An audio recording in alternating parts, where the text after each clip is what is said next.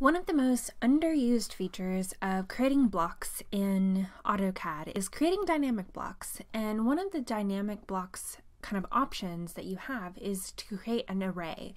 And in design, there's so many opportunities for using this and just making it where your drawings are so much speedier, so much more efficient, and really getting things out consistently and quickly. So I'm going to show you how to create an array dynamic component of a block. And to do this, we're going to use a couple of examples. So first I'm going to show you just a really typical application. So kind of how maybe a brick in section and then you have the um, the the mortar and then making it where it kind of carries all the way up and you can actually just easily draw all the bricks that you are going to need to draw a wall section, for example. Another one we can we're going to look at is actually looking at how you could use it for say a shelf. So a shelf that, you know, you might use a lot and you want to make sure you can have adjustments of using it where there's one shelf, two shelves, three shelves, and so on. And then finally, we're going to look at how we could do it where we have like a ser series of books like this and we can actually just make it where this is adjustable and we can stretch this over uh, depending on how many we need to fill a shelf so to speak. So let's get started. So first things first, I'm going to start with this brick and I'm going to select it all and I'm going to press B. Enter and I'm just going to say brick section and I'm going to choose my base point and we're going to just choose that corner and then okay. So there we have it. So BE is now going to let us edit this block. And it's opened in the other window, sorry. Okay, and now we have our lovely block of basically just a brick with some mortar. So to create the dynamic component, we first need to give it a linear element. So I'm going to actually just draw a distance and with two grips, so basically all I did was click, click, and press enter, of the bottom of the brick to the top of this mortar. Now what I'm going to do is go to this um, button, which is just the actions, and I'm going to do array. So right now it's asking me to select a parameter, and because I went ahead and did this distance, I can just click, select that. Now I need to select the object, so select all those objects, press enter, and now I need to select the distance between the columns. And this is when I'm just going to go from here to there.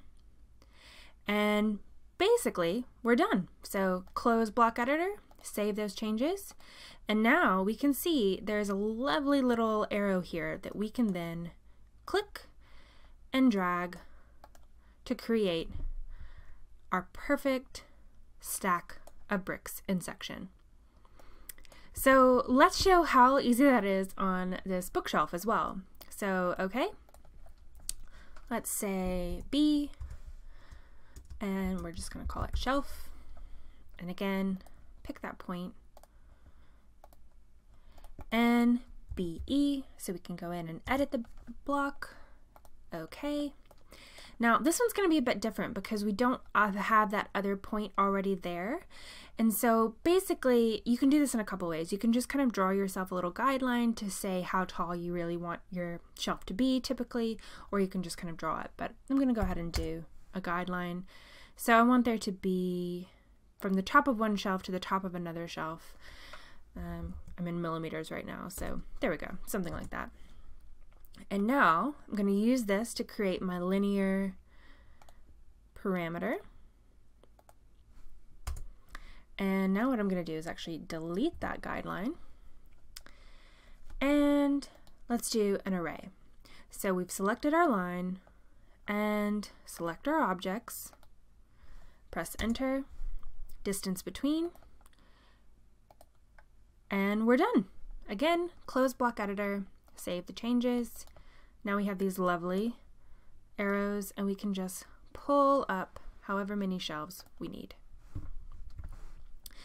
Now the last instance I'm going to do this for is these bookshelves or these books to go on shelves. So these are really basic. You could certainly give them a little bit more detail around some edges, things like that. But basically, if I just select these, create a block, and let's give it a corner, and select BE, and again, we're going to do a horizontal one this time.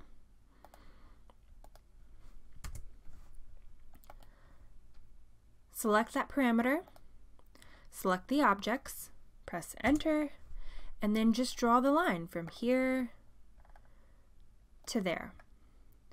And close, save those changes, and suddenly we have a beautiful block that we can then stretch along however we want it to be.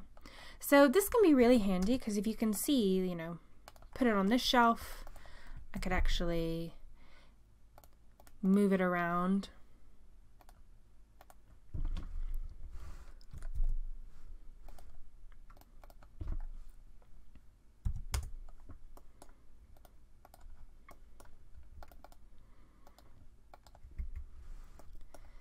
And actually fill a whole shelf of books with real real ease just because I've made it where it's a dynamic block that has the ability to array. So I hope that helps, and let me know in the comments what other applications you can imagine for creating a dynamic block with an array. If you liked that video, check these out and click to subscribe where you'll be the first to see new videos I release every Monday. Thanks for watching!